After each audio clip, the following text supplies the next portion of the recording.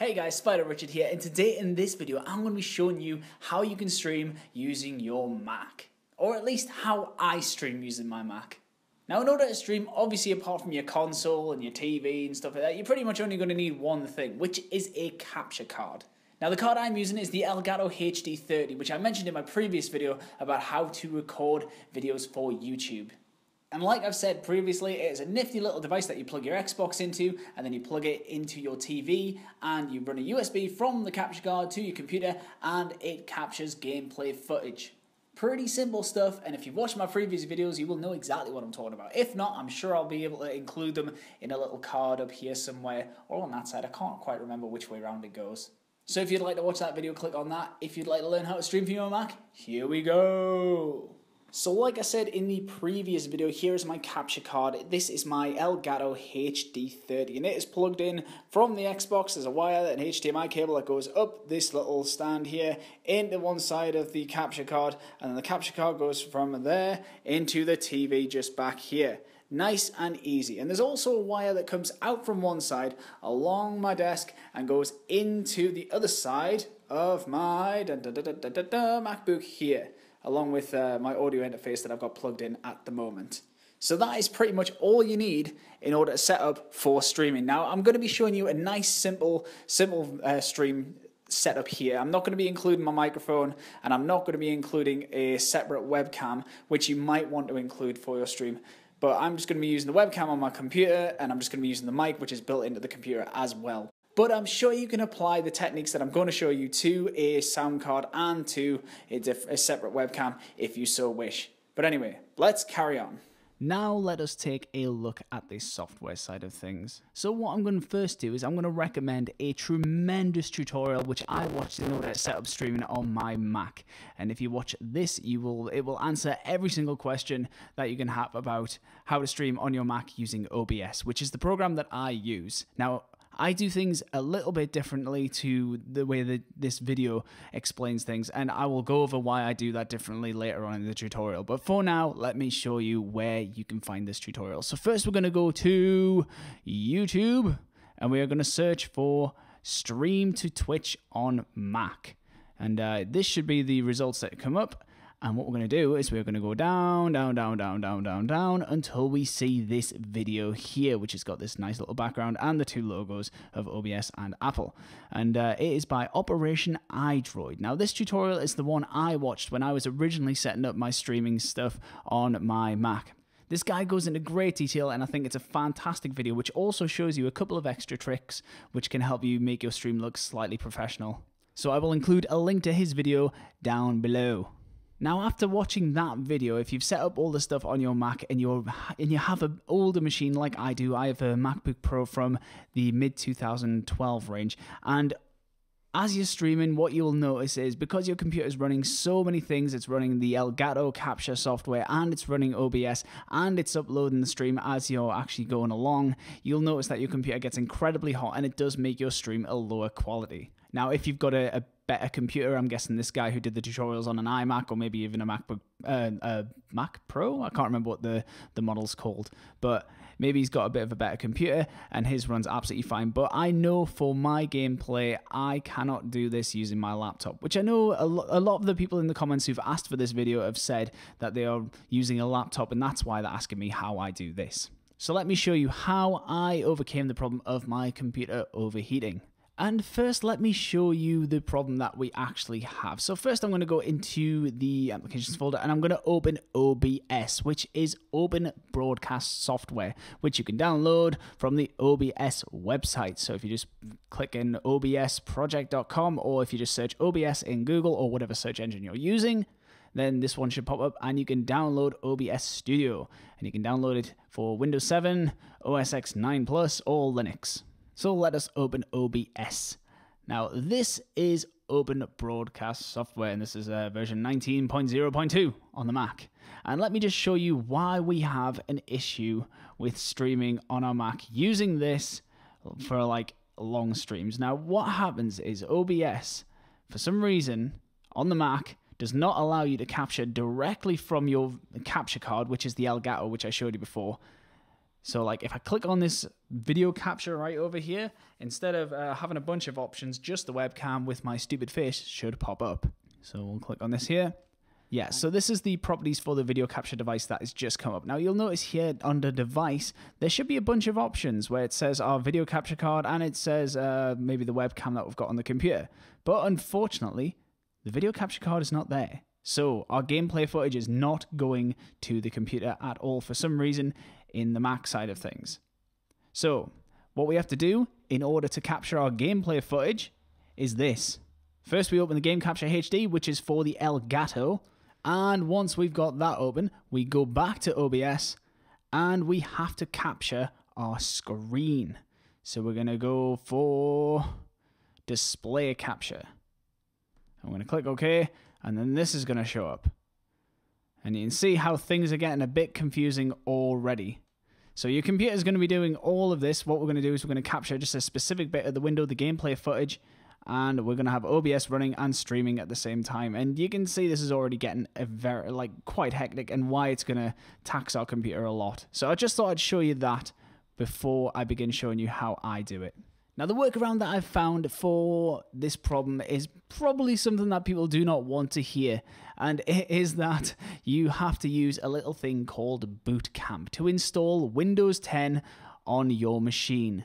And like I said before, unfortunately, this is not going to be completely free because you're going to have to pay for Windows 10. And Windows 10 is not actually that expensive. Look, you can get it here for $19.99 from Software Geeks. So once you've bought your copy of Windows 10, you are going to install the, the install file on a USB hard drive, which you can then use to install Boot Camp on your Mac. Sounds complicated, believe me, it is not. There are plenty of tutorials on uh, YouTube if you just search for Boot Camp Windows 10, Mac. There's plenty of guides on here which will show you exactly how to do it, and uh, pretty much all of these will say the exact same thing. It couldn't be simpler. Once you've installed Windows on your boot camp, you're going to want to restart your computer. Hold down the Option key when the computer restarts and select the hard drive, well, the side of the computer you want to log into, either the Windows or the OS X. And we are going to log into Windows. So we're going to click Restart, hold down the Option key, and boot up into Windows. So like I said, what you're going to do is you're going to restart your computer. And then once it's restarting, you're going to ignore me dancing, hold down the Option key, which is next to the Apple key, and eventually a couple of hard drives will appear on your computer. Now these are the Macintosh side of your computer, the Windows side of your computer, and the recovery drive. I don't really know what that one is. Simply select the Windows side of your computer, you can either click or use the arrow keys, and press enter or click it, and it should boot up. And once again, ignore me dancing. Then once your computer is booted up, you will be able to use Windows. Yeah! Now that we've logged into the Windows side of our machine, what we're going to first need to do is we are going to first need to download the software that we need in order to stream. So we're going to go to our Edge browser. You should be able to find it. Uh, I've got mine at the bottom here in the taskbar, but I'm pretty sure yours will be inside here somewhere, or you could just search for it in here. So once you've done that, you're going to search for OBS in Bing or Google or whatever search engine you're using, and hopefully this should pop up. The OBS project, which is the website you're going to need to go to to download OBS Studio, which is the software that we're going to be using in order to stream to Twitch.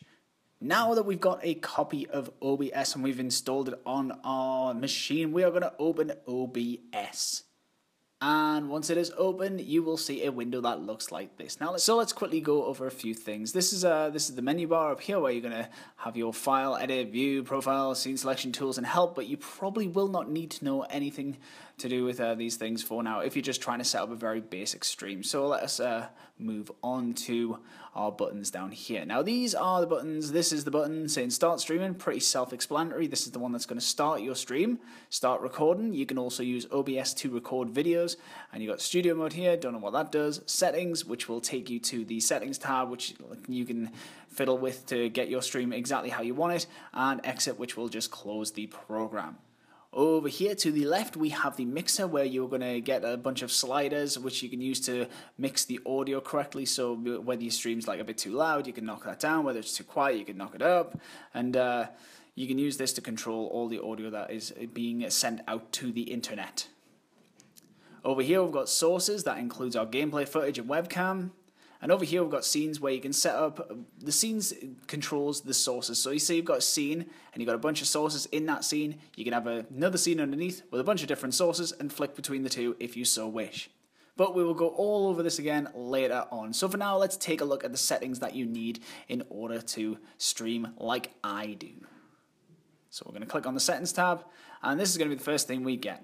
So this is the general settings and for language we've got English, theme we've got default. Sometimes I like to put it on the dark theme, however I do think I'm going to stick with the default for now because it'll look a bit more like yours and maybe make things a little easier. So underneath we've got a bunch of ticky boxes and I have just, I think I've left all these exactly how they were when I first opened the program. So if yours aren't like this, you can set them up like this. If you don't want to, then I'm pretty sure you don't have to. Now let's move on to the second tab, which is stream, with one of the most important things in it, our stream key. So for start streaming, first we're going to click streaming service, and we're going to click our service which we want to use. Now you can select whichever one you're streaming to right here. We're going to be streaming to Twitch, so we're going to select Twitch, and we're going to choose the server which is nearest to us. Now I am in the UK, so I'm going to select the London UK server.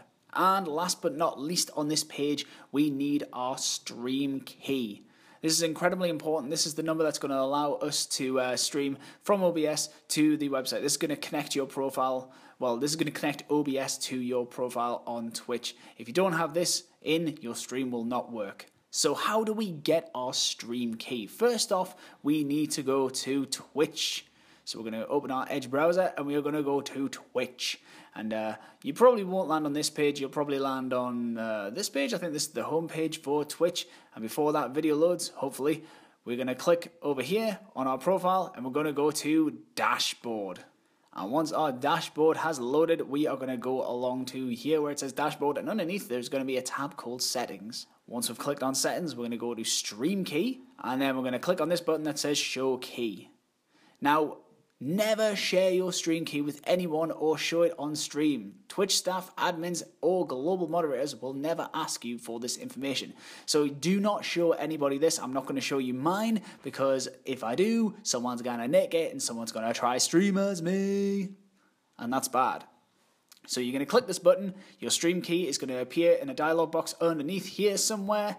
Just copy and paste that into this thing on OBS. You can show it just to make sure it's the same one. And once you've done that, that should be all set up and you can click apply and not worry about that. So let us move on to our next tab. So for output, I've got it set to advanced mode. I believe I did this because I was setting up a recording video using OBS which uh, didn't work out quite how I planned it. So maybe you don't need to be in advanced mode, but I am.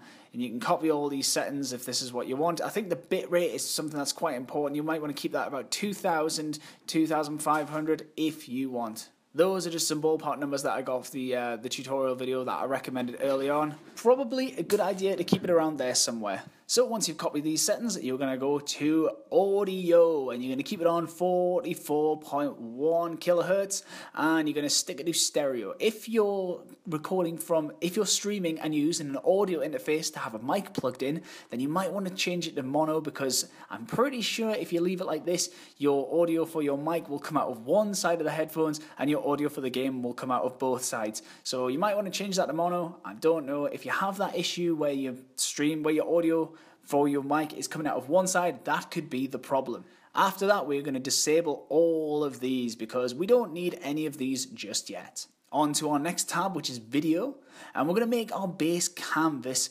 1280 by 720. Again, this is for my computer that I'm making these settings. You can make yours 1080p if you really want. If you think your computer can handle it, go for it by all means. These are just the, the settings that work for me and get my stream consistent and doesn't tax my computer. So I've got my output resolution to the same as my base resolution, so there's no converting between resolutions or anything there. Keeping it all consistent. And we've got downscaling filter, we've got bicubic sharpening, sharpen scaling, 16 samples. I don't know what that is, but that's the one I've got it set to. And we've got our frames per second set to 30 because my capture card is the HD30 and does not do 60 frames a second. If yours does, you can by all means choose 60 frames, but I like to keep mine at 30. Underneath this, we have the hotkeys as well, and you can use this to set up if you want your stream to start by tap in the letter S, you can do that. If you don't want to, just leave it. I personally do not have any hotkeys set up for my stream. And under advanced, I'm pretty sure these are all exactly the same as when I first opened OBS, so I don't think you need to worry about that. If your stream doesn't work for whatever reason, try copying some of these and that might solve the problem. But I'm pretty sure I didn't change any of these advanced settings. Now, once we have done all of that and we have completed this part of the tutorial, we are going to click apply to save all of these settings. And then we're going to click OK. So now that we've ran over the settings for OBS, let us create a scene. So we're going to go over here and yours should probably say scene or scene one or something like that. I've renamed mine to Twitch stream. You don't have to, but if you want to, you can. So the first thing we're going to do is we're going to add ourselves our gameplay footage. So first go to the sources part here and we're going to click on this plus at the very bottom and we're going to go video capture device. And what we're going to do is we're going to click OK after creating a new one. And we are going to choose Elgato HD Game Capture. And once we've done this, our gameplay footage should pop up. So you can see here I've got 7 Days to Die open. And once we've done that, we're going to go to... We're going to go resolution, frames per second. We're going to go custom to the end here. And we're going to click down and we're going to choose 128 by 720. After this, we're going to go down, down, down, down, down. And we're going to choose 30 frames per second because that's how much our thing is set to. And I'm pretty sure you can just leave the rest of these settings how they are. So you're going to click OK. And this should put the gameplay footage inside our stream previewer. So I'm just going to quickly unpause my game and have a, a deaky doodle, see if that's worked. We're going to go, oh, oh, oh, there we go. Look at that. How awesome is that? We've got our gameplay footage in OBS. Nice. And now that we've put our gameplay footage in there, you can see we've got the gameplay video, we've got the gameplay audio over here. So if I unpause my device, you should be able to hear, or if I unpause my game, you should be able to see the slider has got a little green bar on it now, and you can go, you can turn the slider down if you want the gameplay footage to be quieter, if you want the gameplay footage to be louder, you can do that, and it is so simple to do. Really easy. The next thing that we're going to add is our webcam. So for this, we're going to click on the plus and we're going to go to add video capture device. And we're going to click OK. And my ugly mug should pop up. There I am. Hello, everybody. And we're going to choose the webcam. It should be in this drop down menu. And then we're going to go to resolution and we're going to go custom. And what we're going to do for this one, because it's our webcam and I like to keep it in the corner and it's going to be smaller, we don't need it that big. So we're going to choose a nice small resolution like 640 by 480. So we can leave the rest of the things just under here as they are. And there's one other thing that we need to change just at the bottom here, which is the audio capture mode. So we're going to change the audio capture mode to, we're going to click this ticky box here, and we're going to choose custom device.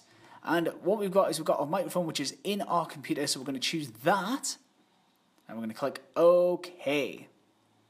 Now, if you've got a different source of uh, audio, what you'll need to do is you'll need to not select that ticky box and you'll need to select the audio interface that you're using from somewhere else in the settings tab.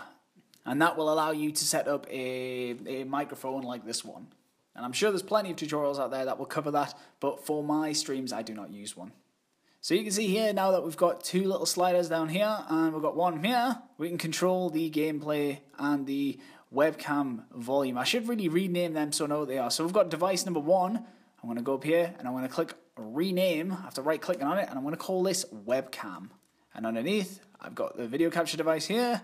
I'm going to rename that gameplay footage or gameplay.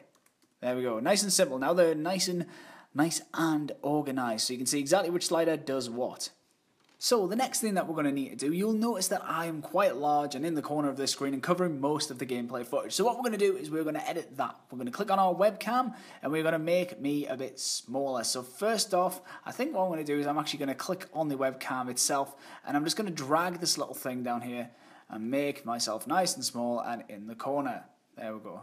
Nice and easy. Couldn't be simpler, could it? And also, an, an, interesting little thing to do, which should be in the other video if you have watched it, which I would thoroughly recommend, is you can crop the side of this and uh, you can do a, actually you can do a bunch of things to it. So if you click on any of these scenes that you you've got down here, like webcam, if you right click on it, you will notice there is a little section called transform. You can go edit transform and you can change a bunch of stuff. You can change the position of where things are. You can change the rotation. You can, uh, ooh, what was that? You can align stuff. You can say what box type it is. And this is something that's quite important as well. Say your webcam is a bit too big and you can't get right in the middle of it. You want to crop a little bit out because you can see right here I've got a bit of empty space. You can click on crop left and you can adjust the numbers. Whoa, the walls are closing in. So you've got a nice small little webcam in the corner, which doesn't distract from a lot of the gameplay, gameplay footage, and give you a bigger window to play with. So I'm just going to close that there, and there you can see I'm nice and small in the corner and not as distracting as I was before, where I was huge and in the middle and in the way. So one more thing you might need to know while we are sorting out this stream is you might need to go onto the webcam and you will notice that when you watch your stream back there is a bit of a delay between your audio and your webcam and your game. Now what this is caused by is the Elgato has a one second delay built into it so it, it makes it a bit easier to capture. So what we do is in order to combat this delay, what we do is we need to delay our webcam and our audio by one millisecond. So, because our audio device is being captured from the webcam, like we said before, which is down at the bottom here. You can see here the microphone's on this bit. What we can do is we can click OK, and then we can right click again and go to filters. Now this is very important. This is where this is. This is in the filter section. And we go on video, audio, filter. We click the plus button and we choose video delay. Now what we do is we just click OK and you can choose how many milliseconds that is delayed by down here. So I said it's a one second delay on the Elgato. So what we need to do is we need to make a 1000 millisecond delay. And what you'll notice is that now my webcam is delayed and it looks weird. Look, I'm going to count, I'm, I'm going to show numbers on fingers. Look, one, two, three, four. See, how delayed was that? So anyway, if you've got a delay, that's why that is, and now that is completely sorted. It's kind of trippy watching the delay. And um, I think that is it, guys. So once you've got that set up and you've got your audio down there set up, you might need to adjust these a bit after being on stream for a while. People will tell you, oh, the gameplay footage is a bit loud, you're a bit loud, you're a bit quiet. Or you can watch a stream back and see just how, like, just what the levels are and you can adjust accordingly. I would advise doing a couple of test ones, talk, have your gameplay footage going, and you can, you can pretty much work it out from that.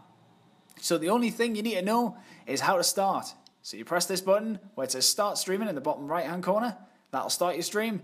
And once you press start, it'll change to say stop streaming. So you press that to stop as well. And that is pretty much it.